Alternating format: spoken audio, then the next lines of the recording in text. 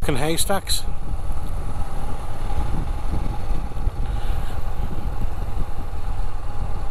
Well.